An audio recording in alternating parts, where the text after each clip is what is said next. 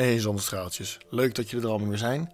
Dit keer eventjes geen uh, geschiedenisonderwerp of een staatsinrichtingsonderwerp, maar een wat algemener onderwerp, namelijk het leren van examens. Hoe leer je voor je examens? Veel van mijn leerlingen die hebben de SE'tjes al gehad. Sommigen maken nog wat herkansingen, maar de eindexamens komen nu toch echt wel dichterbij. En ik dacht, uh, nou ja, ik weet wel wat nuttige dingetjes over eindexamens en die kan ik best aan jullie vertellen. Dus bij deze, hoe leer je voor je eindexamens? We gaan kijken naar twee dingen. Namelijk hoe je kan leren weken van tevoren. Dus als je echt eh, flink gaat voorbereiden. En vlak voor het eindexamen, een paar dagen van tevoren. Ik ga een apart filmpje maken over wat je kan doen tijdens je eindexamen. Want dat is weer een heel ander verhaal. We gaan dus even beginnen met uh, hoe leer je nou eigenlijk van tevoren. Nou, ten eerste, als je gaat leren voor al je vakjes, dan moet je gewoon een planning maken. Oh ja, en niet een planning waar je, waar je huiswerkbegeleiding of je leraar blij mee is. Nee, een echte planning die ook echt gaat doen. Ik heb uh, straks een voorbeeldje voor jullie. En uh, onder in de comments heb ik linkjes gezet naar een, uh, een planning die je zelf kan invullen. Um, want dan doe je misschien, ja, maak je misschien een planning die je echt gaat volhouden. Dus als, als jij van jezelf weet, ja, maar luister, ik ga gewoon niet meer dan drie uur per dag leren. Dan moet je dat zo inplannen. Want anders ga je het toch niet doen. Dan heb je er niks aan. Dus maak een planning die je echt gaat doen. Als je de tijd hebt, dus weken van tevoren, maak examens. Het is een beetje een vuistregel, maar zorg dat je minimaal zo'n nou, drie examens, twee, drie examens per vak gewoon gemaakt hebt. Helemaal. En maak ze echt. Dus schrijf het uit. Ga niet denken, oh ja, dit weet ik, dit weet ik, dit weet ik. En dan niks opschrijven. Maar het moeilijkste van examens is niet dat je de kennis uh, moet hebben. Het moeilijkste van examens is dat je de goede dingen opschrijft. Dus maak ze echt helemaal. En kijk ze ook na natuurlijk. Want dan kan je leren van je fouten. Als je iedere keer één ding niet weet, nou, dan, dan weet je precies wat je moet leren. En als er iedere keer één soort ding fout gaat, dan weet je waar je aan moet oefenen. Dus leer van je fouten, maak je examentjes. Dan, als je aan het leren bent, doe verschillende dingen. Dus lees de aantekeningen die je hebt gemaakt tijdens de les. Maak opdrachten uit je boek. Kijk YouTube-filmpjes. Maak examentjes.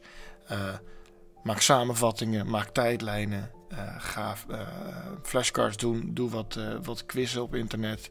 Er is van alles.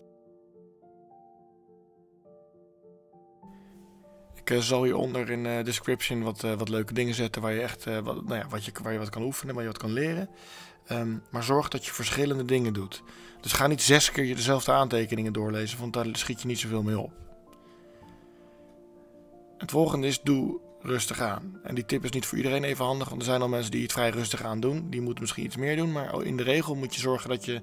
Ga niet stressen als het niet nodig is. Weet je, doe gewoon je werk, ga gewoon uh, zitten, maak gewoon je uurtjes, ga lekker leren, maar ga niet keihard stressen. We gaan nu eens even kijken naar die planning waar ik het over had, want dat is best wel een belangrijke.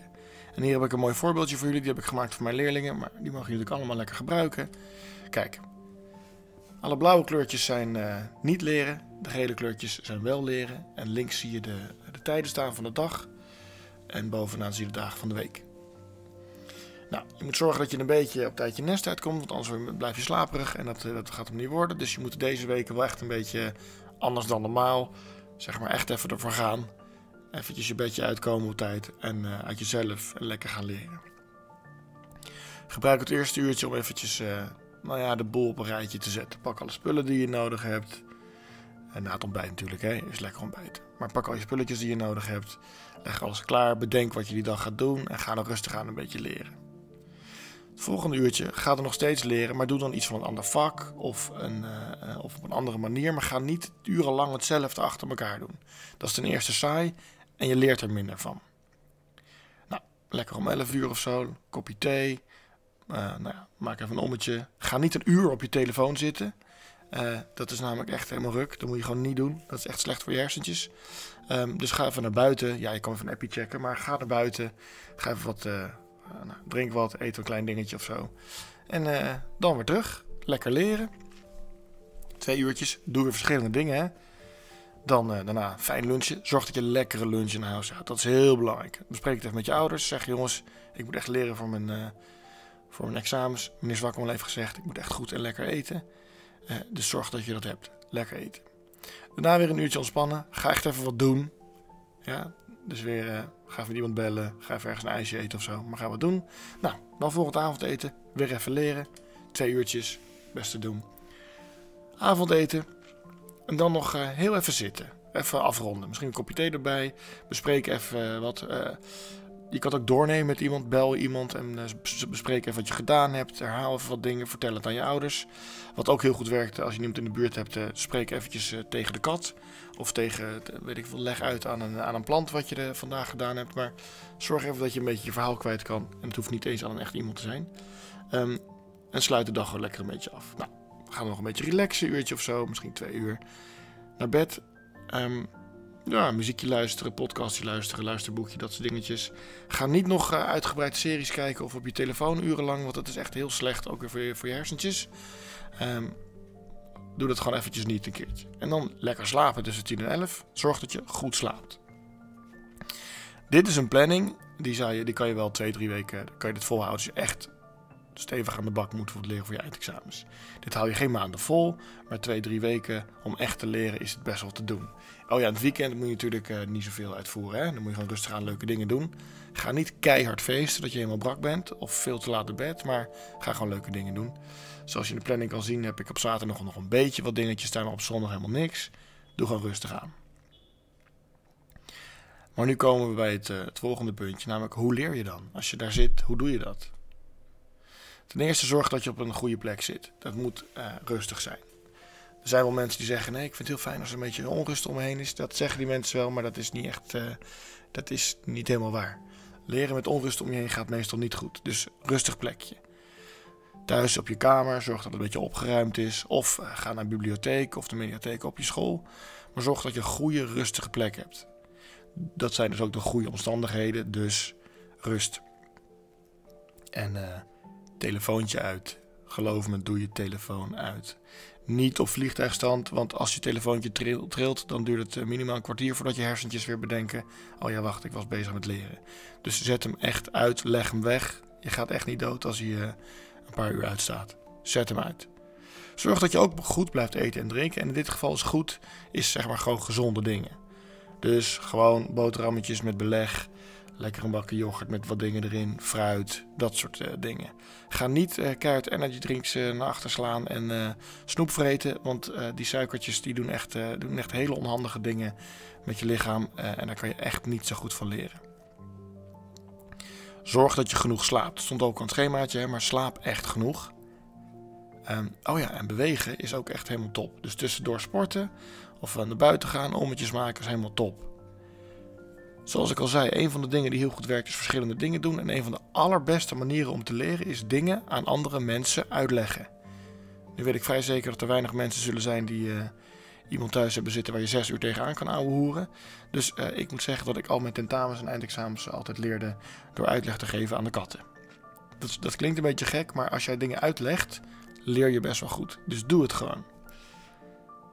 Dit zijn allemaal dingen die je weken van tevoren gewoon dagelijks kan doen en waardoor je echt goed kan leren. Nu gaan we eens even kijken naar wat je een paar dagen van tevoren nog kan doen. Het is niet super anders, maar soms gaan mensen vlak van tevoren nog een beetje uh, ja, stressen. Dat is geen goed plan. Zorg dat je nog steeds dat je op tijd naar bed gaat. Er zijn wel eens mensen die zijn helemaal gestrest denken: oh shit, ik moet nu langer gaan doorleren. Die gaan nachten door proberen te halen met koffie en Red Bull. Nou, dat is echt een rete slecht idee. Dat moet je niet doen. Ga, ga gewoon lekker op tijd naar je bedje. Dat is heel fijn. Goed slapen, gezond eten en drinken. En dat is echt uh, ja, het klassieke gezond. Schijf van vijf uh, eten. Groente, fruit. Uh, niet te veel suiker. niet te veel vet. Dat is geen goed idee. Blijf lekker bewegen. ga rustig aan door met leren. Ga niet een soort van in je hoofd denken dat je harder moet leren. Want dat, dat kan eigenlijk niet echt. Blijf ook gewoon relaxen en leuke dingen doen. En ja, braaf zijn is belangrijk. Dus ga niet heel groot feestjes vieren en daar alle eh, stoute dingen eh, gebruiken die daar voor sommige mensen soms bij horen. Dat is een ontzettend slecht idee. Gewoon even niet doen. Bewaar je feestjes voor als je klaar bent met je examentjes. Dan heb je het heel erg verdiend. En maak je niet te druk. Dat is een hele belangrijke. Maak je gewoon niet te druk. Um, het komt wel goed met die eindexamens. Als je dit hele jaar uh, een beetje door hebt gewerkt en je hebt je huiswerk gemaakt, en je gaat met een beetje oké je SE-cijfertjes je examens in, dan komt het wel goed. Als je leert, komt het goed. Zo, waarde vrienden. Nou, ik hoop dat jullie wat aan mijn verhaal hebben gehad. Ehm, kijk straks nog even goed in de comments, want ik zet daar wat linkjes in naar playlists met fijne muziekjes waar die je kan gebruiken om te leren. Uh, dat schema wat je in kan vullen. En nog wat sites waar je eindexamens kan vinden om te oefenen.